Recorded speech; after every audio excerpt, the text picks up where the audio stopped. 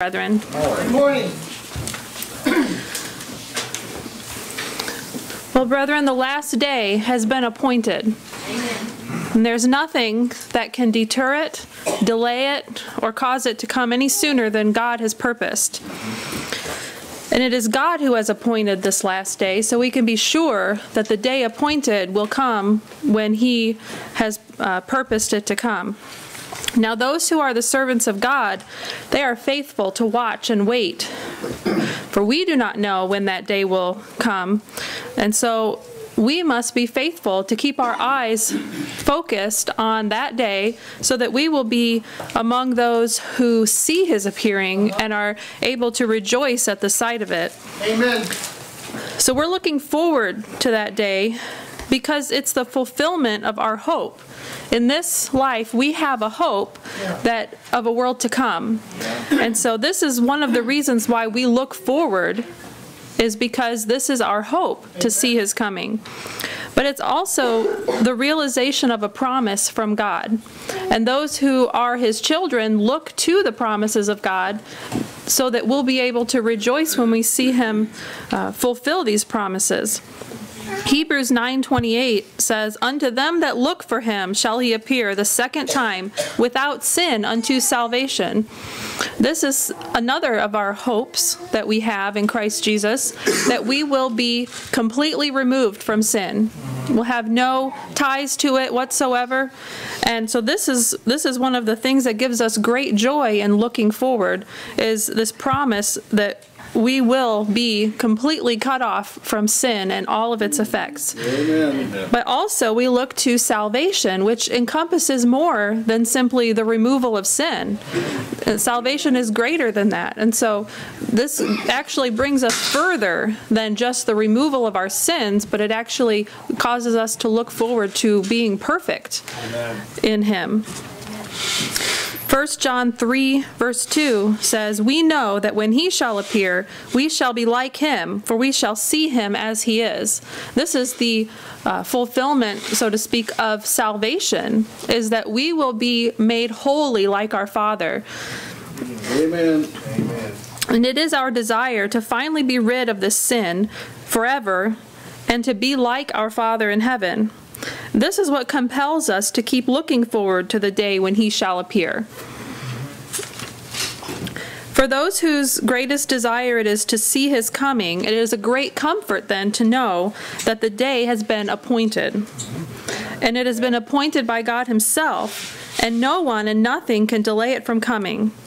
When God makes an appointment, we can be sure that he will keep it. Amen. Men can make appointments and then break them, but God does not work in this way. Amen. When He sets an appointment, there is nothing and no one who can prevent it from coming. Consider the examples we're given in Genesis concer- concerning the birth of Isaac. Genesis 18:14 says, "Is anything too hard for the Lord? At the time appointed I will return unto thee according to the time of life, and Sarah shall have a son." Now Isaac was the fulfillment of this promise given to Abraham by God that he would have a son through Sarah.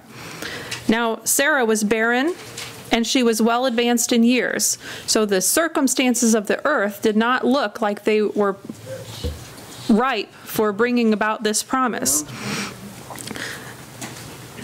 And no amount of labor on Abraham or Sarah's part could have caused Isaac to be born any earlier.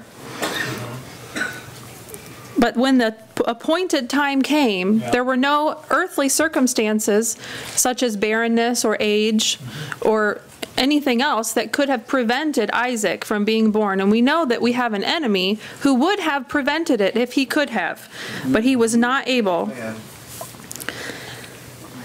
When God determines to do a work, it is not in the power of mankind to hinder or, or to hasten God's hand in the matter.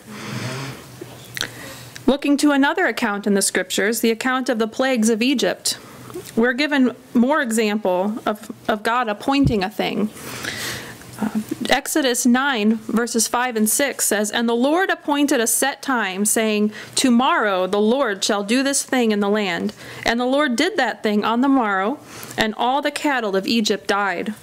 But of the cattle of the children of Israel died not one. So here we have a very, very different perspective. On the one hand, the Egyptians, their cattle all died. But on the other hand, the Israelites, their cattle, not one cattle died. And so we see how important it is on the day of the day that's appointed to be on the right side. Yes, amen. The loss the Egyptians suffered will seem as nothing on the day of judgment. Their, all they lost was, on, on that particular day, they lost all their cattle. But, and while it was a great loss for them, the loss that the wicked will suffer on the day, the, the day that's coming, will seem as, will, will be so much greater than any loss any man has suffered here.